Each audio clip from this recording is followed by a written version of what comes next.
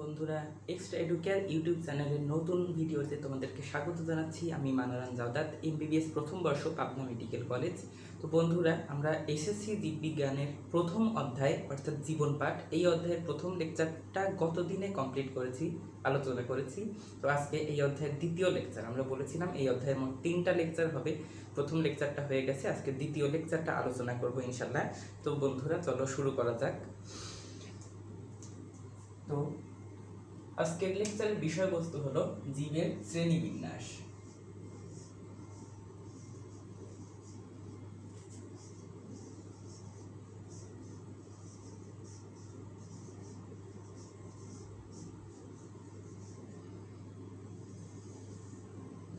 তো জীবের শ্রেণীবিন্যাস, জিনিসটা কি? প্রথমে বলে রাখি, আজ পর্যন্ত পৃথিবীতে উদ্ভিদ প্রজাতি পাওয়া গেছে চার লক্ষ। মানে মোট চার লক্ষ প্রজাতির উদ্ভিদের নামকরণ করা হয়েছে। আর প্রাণী প্রজাতি পাওয়া গেছে তেরো লক্ষ। তেরো লক্ষ প্রজাতির নামকরণ করা হয়েছে। তো এই সকল প্রজাতির বৈশিষ্ট্য বা সকল প্রজাতির পরিচিতি একসঙ্গে মনে রাখা কিন্তু খুবই একটা কঠিন ব্যাপার। তো এই কঠিন ব্যাপারটাকে সহজ করার উদ্দেশ্যেই শ্রেণীবিন্যাসের উৎপত্তি। তো শ্রেণীবিন্যাস মানে কি? এই বিশাল জীবজগৎকে যাতে সহজে জানা যায়, সেজন্যে বিভিন্ন দলে, উপদলে, সাদৃশ্য, বৈসাদৃশ্যের ভিত্তিতে বিভিন্ন দলে, উপদলে বিন্যস্ত করার যে প্রক্রিয়া বা সাজানোর যে প্রক্রিয়া, সেইটাকে বলা হয় শ্রেণীবিন্যাস। তো শ্রেণীবিন্যাসের উদ্দেশ্য তাহলে বিশাল জীবজগৎটাকে যাতে অল্প সময়ে, অল্প পরিশ্রমে আমরা ভালোভাবে জানতে পারি। আর কি? প্রতিটি জীবের বিভিন্ন দল, উপদল, এইসব সম্পর্কে যাতে জানতে পারি। অর্থাৎ ধরলাম যে কোনো একটা দল একটা শ্রেণি আছে আর্থপ্রোটা শ্রেণি, যদি আমরা চিন্তা করি। সেই শ্রেণির একটা প্রাণীর বৈশিষ্ট্য যদি আমরা কোনোভাবে জানতে পারি বা কোনো একটা জগতের একটা পর সরি একটা শ্রেণির, একটা প্রাণীর বৈশিষ্ট্য জানতে পারলে সেই বৈশিষ্ট্যের মতোই অন্যান্য প্রাণীগুলোর বৈশিষ্ট্যও দেখা যাবে। অর্থাৎ যে কোনো একটার বৈশিষ্ট্য জানলে বা ওই শ্রেণীটার কমন বৈশিষ্ট্যগুলো জানলে ওই শ্রেণীতে যে প্রাণীগুলো আছে, সব প্রাণীর বৈশিষ্ট্যই আমরা আইডিয়া করতে পারব। তো এভাবে আমরা বিশাল প্রাণী জগৎটাকে শ্রেণীতে ভাগ করে করে তাদের সম্পর্কে বিস্তারিত জ্ঞান লাভ করতে পারব খুবই সহজে। তো এই জন্য শ্রেণীবিন্যাসের উৎপত্তি। তো শ্রেণীবিন্যাস একদম শুরু থেকেই আছে মানে ক্যারোলাস লিনিয়াসের সময় থেকেই শ্রেণীবিন্যাসটা আছে এবং ক্যারোলাস লিনিয়াস ক্যারোলাস লিনিয়াসের সময় থেকে শুরু করে একদম বিংশ শতাব্দীর মাঝামাঝি পর্যন্ত প্রাণী জগৎকে দুইটা ভাগে ভাগ করা হতো সরি জীব জগৎকে দুইটা ভাগে ভাগ করা হতো। একদম কমন যে দুইটা ভাগ, একটা হলো উদ্ভিদ উদ্ভিদ জগৎ আর একটা প্রাণী জগৎ। জাস্ট উদ্ভিদ এবং প্রাণী এই দুইটা ভাগে ভাগ করেছিল। এই ভাগটা করেছিল ক্যারোলাস লিনিয়াস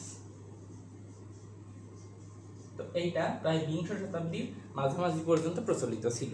কিন্তু উদ্ভিদ এবং প্রাণী, কিন্তু প্রাণীরও আবার অনেক ভাগ আছে, উদ্ভিদেরও অনেক ভাগ আছে। তো এই দুই ভাগে ভাগ করেই এইটা পর্যাপ্ত হলো না, অর্থাৎ আরও ভাগের প্রয়োজন হলো। তো পরবর্তীকালে হুইটেকার নামে একজন বিজ্ঞানী সমস্ত প্রাণী, সমস্ত জীবজগৎকে পাঁচটা ভাগে ভাগ করেন। কি কি ছিল সেই পাঁচটা ভাগ একটু দেখে আসি। হুইটেগারের শ্রেণীবিন্যাস আমরা এখন দেখছি। বলেছিল, মনেরা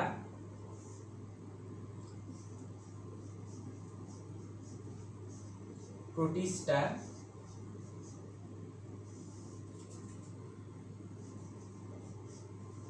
ফানজাই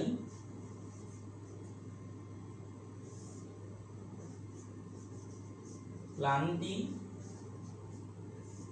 এবং অ্যানিমেলিয়া।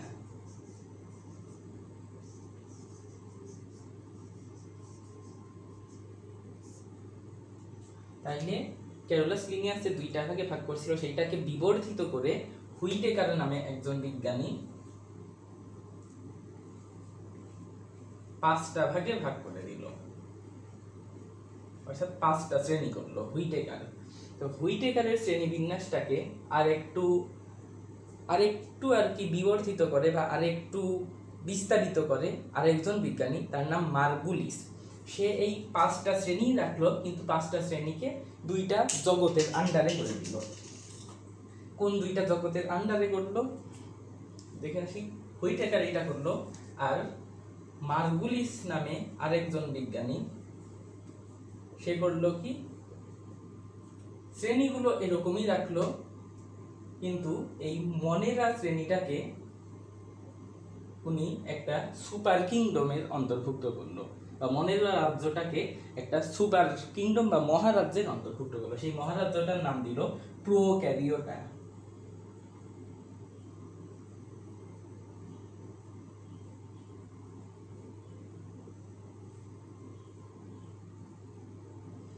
আর প্রোটিস্টা থেকে শুরু করে ফানজাই প্লান্টি অ্যানিমেলিয়া, এই সবগুলোকে একটা ক্লাসের অন্তর্ভুক্ত করল। সেইটার নাম দিল ইউক্যারিওটা।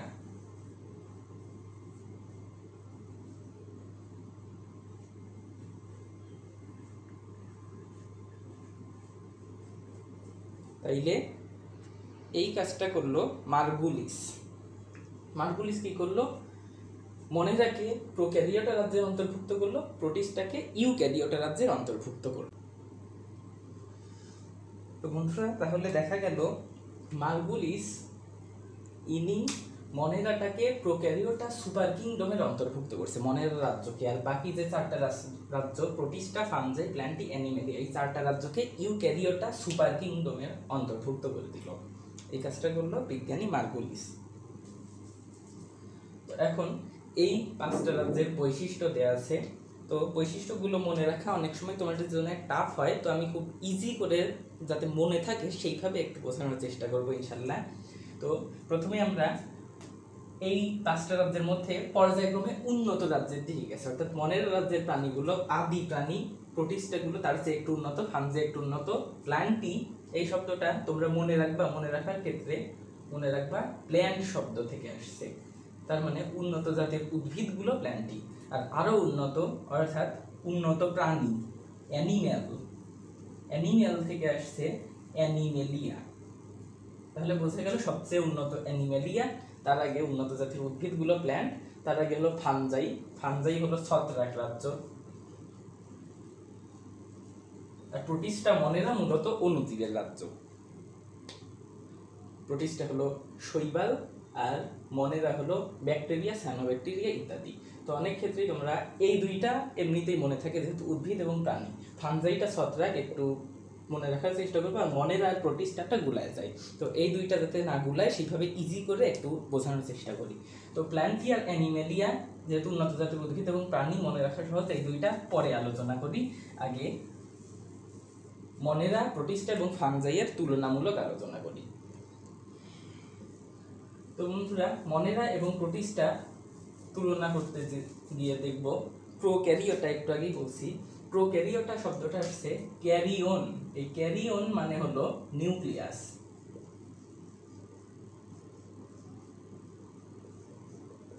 আর প্রো মানে আদি। তাহলে প্রোক্যারিওটা সুপার কিংডমের অন্তর্ভুক্ত জীবগুলো আদি নিউক্লিয়াস যুক্ত হবে। আর ইউ মানে প্রকৃত অর্থাৎ সুগঠিত। আর একটু আগে বললাম ক্যারিওন বা ক্যারি ও সেটা থেকে আসছে।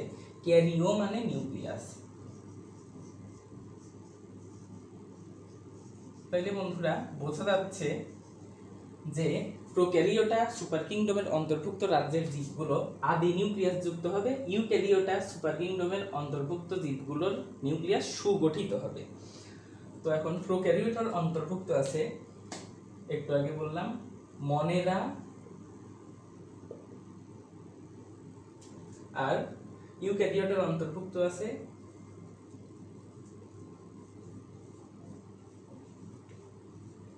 প্রোটিস্টা আর ফানজাই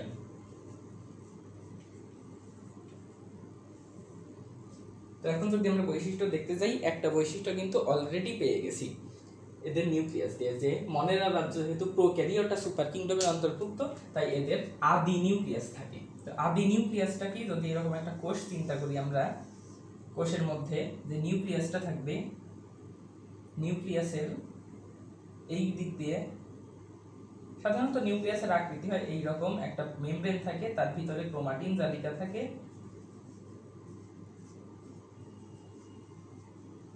একটা নিউক্লিওলাস থাকে।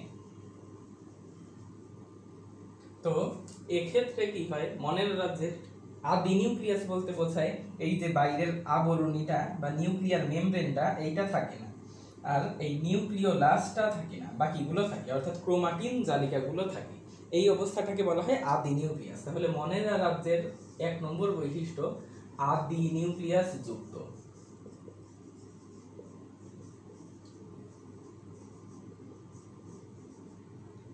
আদি নিউক্লিয়াস বলতে কি বোঝায়? শুধুমাত্র ক্রোমাটিন জালিকা আছে, নিউক্লিয়ার মেমব্রেন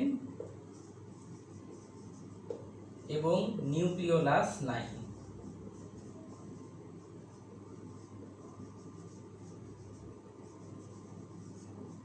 এটা হলো মনের রাজ্যের একটা বৈশিষ্ট্য গেল। এখন মনের রাজ্যটা আমরা আগে বলছি ব্যাকটেরিয়া রাজ্য। তো এই রাজ্যের প্রাণীদের শুধু নিউক্লিয়াস না, বা জীবের শুধু নিউক্লিয়াস না এদের কোষটাও আদিকোষী। আদিকোষ বলতে কি বোঝায়?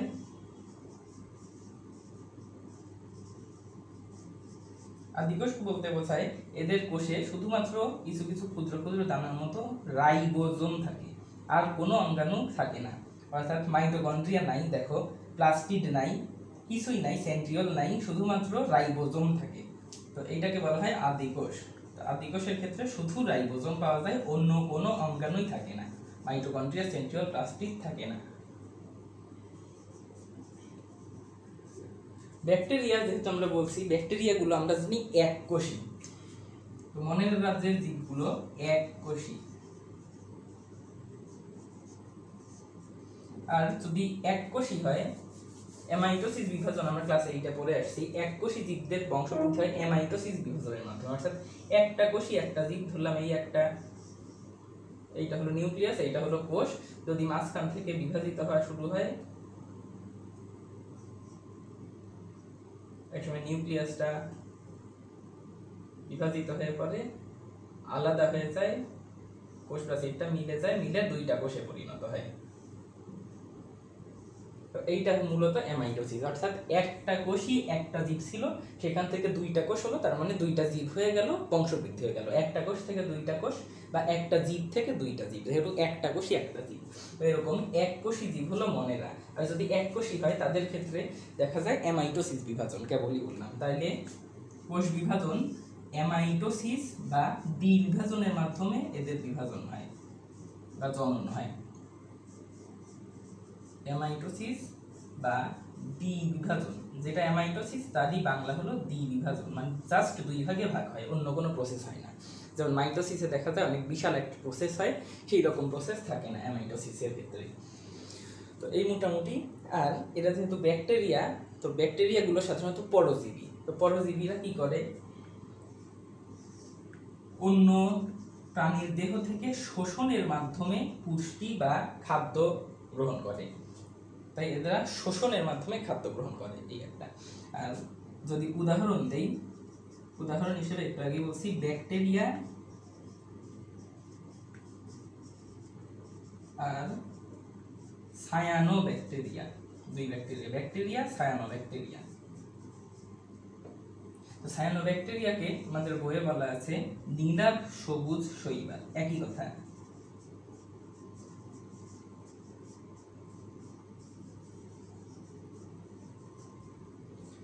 এই গেল মনের রাজ্যের বৈশিষ্ট্য।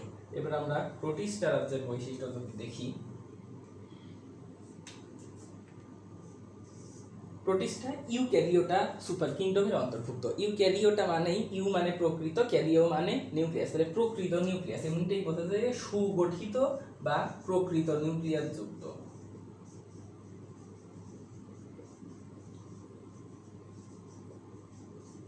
অর্থাৎ এদের যে কোষ, এই কোষের নিউক্লিয়াসটাতে নিউক্লিয়ার পর্দাও থাকে, ক্রোমাটিন জালিকাও থাকে, আবার নিউক্লিওলাসও থাকে। সবগুলোই থাকে, তাই সুগঠিত নিউক্লিয়াস যুক্ত। আর কি? এদের কোষটাও প্রকৃত কোষ। আদি কোষ না, যেটা মনের রাজ্যের ক্ষেত্রে ছিল আদি কোষ। তো এদের কোষটা আদি কোষ না, প্রকৃত কোষ। তার মানে কি? সমস্ত অঙ্গাণুই থাকে। এদিকে ধরো প্লাস্টিড আছে মাইটোকন্ড্রিয়া আছে, রাইবোজোমও আছে, এরকম সব অঙ্গাণুই আছে, তাই এদের কোষকে বলা হয় প্রকৃত কোষ। আর যেহেতু এদের প্লাস্টিক আছে, তাই আগেটা কিন্তু প্লাস্টিক ছিল না শালক সংশ্লেষণ করতে পারে নাই। তো এইটাই প্রকৃত কোষ, সকল অঙ্গাণু আছে, প্লাস্টিডও আছে, তাই যদি ক্লোরোপ্লাস্ট থাকে, তাহলে এরা শালক সংশ্লেষণও করতে পারে। তাই শুধুমাত্র শোষণ না, শোষণের পাশাপাশি গ্রহণ শালক সংশ্লেষণ বা ইংরেজিতে শালক সংশ্লেষণকেই বলা হয় ফটোসিনথেসিস। এর মাধ্যমে এদের পুষ্টি প্রক্রিয়া বা খাদ্য গ্রহণ ঘটে থাকে।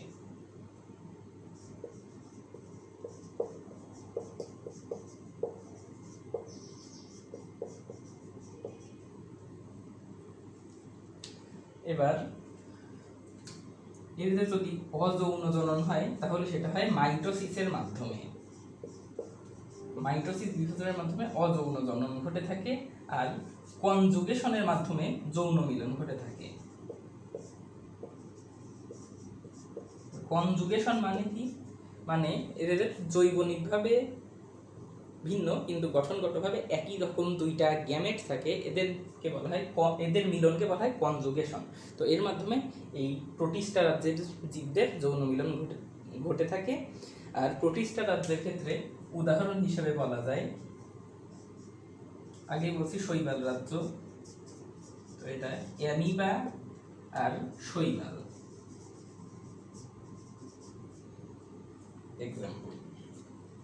তো এরপর তুলনামূলক সহজ, এই দুইটাই সাধারণত গুলায় যায়, ফাংজাই রাজ্যটা গুলায় যায় না, কারণ ফানজাই রাজ্যটা হলো ছত্রাক রাজ্য।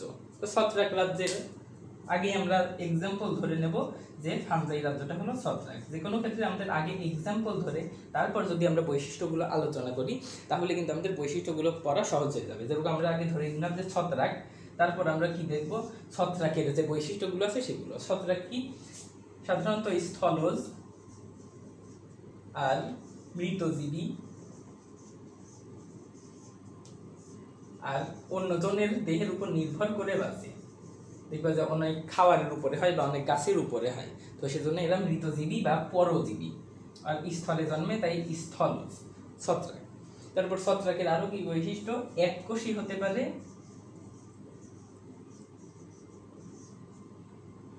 আর মাইসেলিয়াম মাইসেলিয়াম জিনিসটা কি এরকম সূক্ষ্ম সুতার মতো কিছু গঠন যেটা সাধারণত পেনিসিলিয়াম ছত্রাকে দেখা যায়। এইরকম একটা পেনিসিলিয়াম ছত্রাক থাকে। তো এই সরু সুতার মতো জিনিসগুলোকে বলা হয় মাইসেলিয়াম তাহলে এদের দেহে মাইসেলিয়াম নামক সুতার মতো অংশ দেখা যেতে পারে ছত্রাকে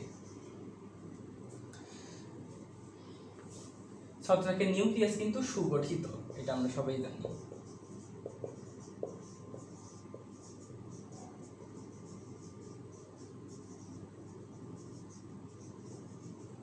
সুগঠিত নিউক্লিয়াস যুক্ত আর ছত্রাকগুলো বেশিরভাগই হয় সাদা বর্ণের বা বেগুনি বর্ণের। কিন্তু সবুজ ছত্রাক কিন্তু দেখা যায় না। অর্থাৎ ছত্রাকে ক্লোরোপ্লাস্ট নাই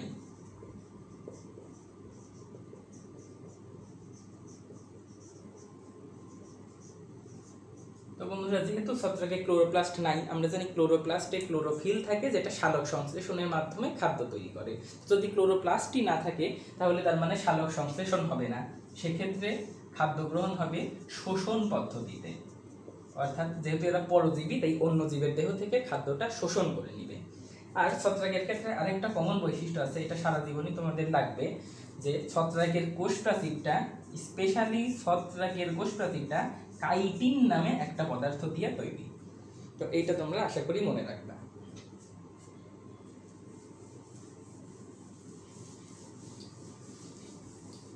তো বন্ধুরা, তাহলে আমাদের তিনটা রাজ্য হয়ে গেল, মনেরা প্রোটিস্টা এবং ফানজাই তো এরপরে যে উন্নত দুইটা রাজ্য আছে আমরা বলছিলাম, সেই উন্নত রাজ্য দুইটা বাদ আছে, অর্থাৎ প্ল্যান্টি এবং অ্যানিমেলিয়া।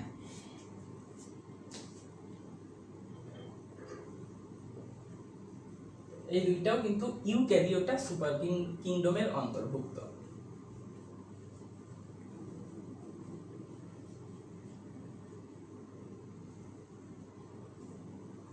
তো প্ল্যান্টটি আসছে, আমরা আগেই বলছি, প্ল্যান্ট থেকে।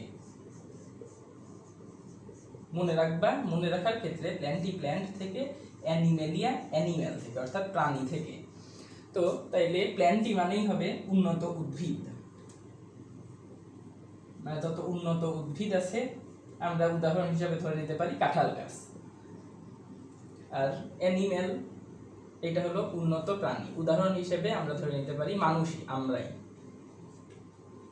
এদের যে বৈশিষ্ট্যগুলো আছে, সেগুলো আমরা দেখব। আগে বলছি যে উদাহরণ আগে ধরে নেব, তারপরে বৈশিষ্ট্য আলোচনা করব, তাহলে সুবিধা হবে। তো কাঁঠাল গাছ আমরা উদাহরণ ধরে নিয়েছি, উন্নত উদ্ভিদ হিসাবে, প্লান্টের উদাহরণ। তো কাঁঠাল গাছের কি উদাহরণ আছে? এক নম্বরে আমরা জানি প্রকৃত নিউক্লিয়ার যুক্ত। অর্থাৎ নিউক্লিয়ার মেমব্রেন, নিউক্লিওলাস সব কিছুই থাকে। যেটা আদি নিউক্লিয়াসে থাকে না, নিউক্লিয়ার মেমব্রেন ও নিউক্লিওলাস থাকে না, শুধু ক্রোমাটিন থাকে। আর কাঁঠাল গাছ একটা উন্নত গাছ, তাই উন্নত টিস্যুতন্ত্র বিদ্যমান। কাঁঠাল গাছে প্লাস্টিড আছে, যেহেতু প্রকৃত কোষ। কোষে সব অঙ্গাণুই আছে, আর তাই কাঁঠাল গাছ কিন্তু শালক সংশ্লেষণ করে। উন্নত উদ্ভিদগুলো শালক সংশ্লেষণ করে, যেহেতু ক্লোরোপ্লাস্ট আছে, ক্লোরোপ্লাস্টে ক্লোরোফিল আছে। আর আরেকটা জিনিস, যে যৌন জনন, এদের যৌন জননকে বলা হয় অ্যানাইসোগ্যামাস।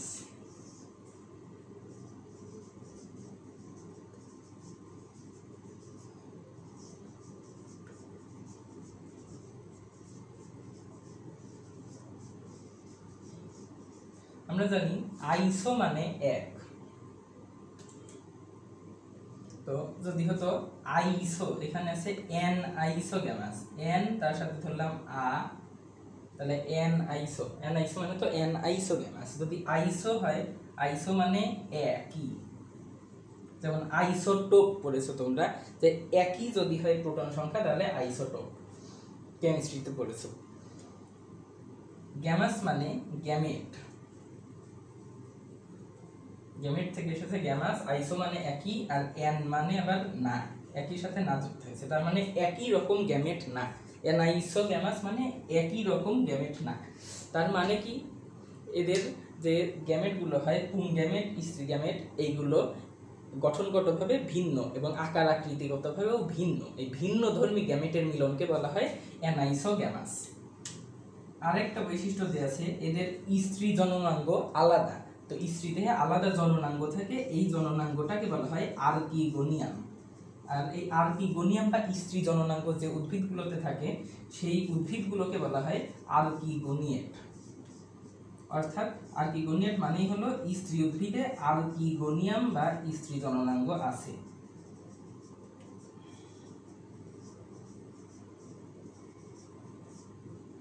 এই মোটামুটি, আর উদাহরণ হিসাবে বলা যায় উন্নত উদ্ভিদ, উন্নত উদ্ভিদের উদাহরণ চারটা। চার ধরনের উন্নত উদ্ভিদ পাওয়া যায়। এক নম্বর হলো মশ পাওয়া যায়, এটা উন্নত উদ্ভিদ। ফার্ন জাতীয় উদ্ভিদগুলো উন্নত। মশবর্গীয়, অর্থাৎ মশবর্গীয় ফার্নবর্গীয় আর নগ্নবীজী উদ্ভিদগুলো উন্নত উদ্ভিদ। আর সবচেয়ে উন্নত যে উদ্ভিদগুলো আমরা জানি, সেগুলো হলো আবৃতবীজী উদ্ভিদ। তাইলে এই মোট চার ধরনের উন্নত উদ্ভিদ পাওয়া যায়, যারা প্লান্টি রাজ্যের সদস্য এবং ইউক্যারিওটা সুপার কিংডমের সদস্য। এবার উন্নত প্রাণী যদি আমরা দেখি, উন্নত প্রাণীর বৈশিষ্ট্য, অর্থাৎ অ্যানিমেলিয়া রাজ্যের বৈশিষ্ট্য, আমাদের ক্ষেত্রেই যদি ধরি, আমাদের ক্ষেত্রে বৈশিষ্ট্যগুলো কি আছে? আমরা এই একই প্রকৃত নিউক্লিয়ার যুক্ত একই বৈশিষ্ট্য।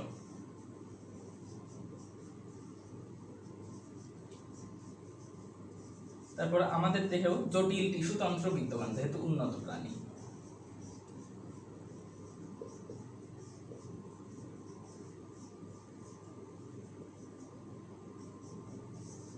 আমাদের দেহে প্লাস্টিড নাই। আমরা জানি যে আমাদের দেহে প্লাস্টিড নাই কোষ প্রাচীর নাই কোষ গহ্বর নাই, যেগুলো যেহেতু এগুলো প্রাণী কোষের বৈশিষ্ট্য না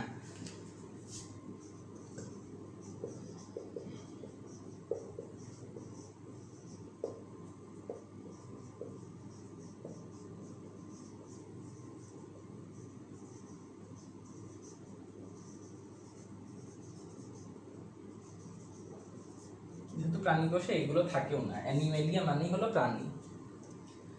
তো যেহেতু প্লাস্টিড নাই, তাই আমরা নিজের খাদ্য নিজে তৈরি করতে পারি না সালোক সংশ্লেষণ করতে পারি না। তাই আমাদের খাদ্যের জন্য অন্য প্রাণীর উপর নির্ভর করতে হয়। অর্থাৎ আমরা পরভোজী, যেটাকে বলা হয় হেটারো ট্রাফিক বা পরভোজী। ইংরেজিতে বলা হয় হেটারো ট্রাফিক আর সাধারণত এসব উন্নত প্রাণীগুলোতে যৌন জননের মাধ্যমে বংশবৃদ্ধি ঘটে থাকে। যৌন জননের মাধ্যমে বংশবৃদ্ধি হয়। আর আমাদের যে ভ্রূণ অবস্থা যখন থাকে, ভ্রূণ অবস্থায় ভ্রূণীয় স্তর থাকে। ভ্রূণীয় স্তর এটা তোমরা বড় ক্লাসে অর্থাৎ ইলেভেন টুয়েলভে উঠলে এইচএসসি শ্রেণীতে জানতে পারবে যে ভ্রূণীয় স্তর ভ্রূণীয় স্তর মানে ভ্রূণ অবস্থায় আমাদের দেহে তিনটা স্তর থাকে। বাইরের স্তরটা হলো একটোডার্ম ভেতরের স্তরটা মেসোডার্ম আর একদম ভেতরের স্তরটা হলো এন্ডোডার্ম একটোডার্ম মেসোডার্ম আর এন্ডোডার্ম তো এই তিনটা স্তর থেকে আমাদের তিন রকম জিনিস সৃষ্টি হয়। একদম বাইরে একটোডার্ম থেকে সৃষ্টি হয় আমাদের মাথার যে চুল, তারপর নখ, বাইরের জিনিসগুলো বা ত্বক। আর মেসোডার্ম থেকে সৃষ্টি হয় আমাদের কঙ্কাল, আর এন্ডোডার্ম বা একদম ভেতরের স্তর থেকে সৃষ্টি হয় আমাদের ভেতরের বিভিন্ন গ্রন্থিগুলো এইগুলো। তো ভ্রূণ অবস্থায় আমাদের এরকম তিনটা স্তর থাকে, অর্থাৎ অ্যানিমেলিয়া রাজ্যের প্রাণীদের ভ্রূণ অবস্থায় ভ্রূণীয় স্তর দেখা যায়। তো অ্যানিমেলিয়ার উদাহরণ কি? প্রোটোজোয়া প্রাণী না শুধু। মানে প্রোটোজোয়া প্রাণীটা ছাড়া আর সকল অমেরুদণ্ডী প্লাস মেরুদণ্ডী প্রাণী। প্রোটোজোয়া ব্যতীত সকল অমেরুদণ্ডী এবং মেরুদণ্ডী প্রাণী, অ্যানিমেলিয়া রাজ্যের সদস্য। তো বন্ধুরা, আজকে আমাদের দ্বিতীয় লেকচারটা হলো এই অধ্যায়ের জীবন পাঠ, অধ্যায়ের দ্বিতীয় লেকচার। এর পরের দিনের লেকচারটাই হবে এই অধ্যায়ের শেষ লেকচার এবং আজকের লেকচারটা থেকে যদি তোমরা উপকৃত হও, তাহলে অবশ্যই শেয়ার করে দাও তোমাদের অন্য বন্ধুদের মাঝে বা অন্য সহপাঠীদের মাঝে যাতে তারাও এই লেকচার থেকে উপকৃত হতে পারে। আর অবশ্যই ভিডিওটা ভালো লাগলে পরবর্তী ভিডিওগুলো যাতে সবার আগে পেয়ে যাও, এই জন্য সাবস্ক্রাইব করে রাখো এবং পাশে থাকা বেল আইকনটাতে ক্লিক করে রাখো। তো বন্ধুরা, এতক্ষণ ধৈর্য সহকারে ক্লাসটি শোনার জন্য তোমাদেরকে অসংখ্য ধন্যবাদ জানিয়ে আজকের মতো এখানেই শেষ করছি। আল্লাহ হাফেজ।